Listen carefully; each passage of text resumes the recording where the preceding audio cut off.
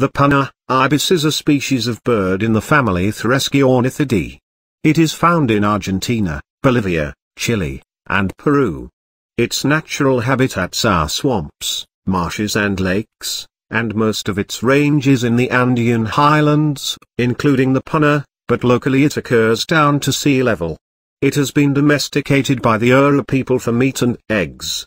The puna, ibis is a dark ibis of the high Andes. It has long legs, a long decurved bill, and a patch of bare reddish facial skin. It resembles the largely allopatric white-faced ibis, Plegadis chihi, but in adult plumage lacks the white on the face and has darker legs, a darker iris, and darker body plumage. It occurs in the Andes from central Peru south through Bolivia to extreme northern Chile and northwestern Argentina. Small numbers occur along the Peruvian coast, where breeding occurs locally. It occurs in flocks in alpine wetlands and pastureland, feeding by probing in mud.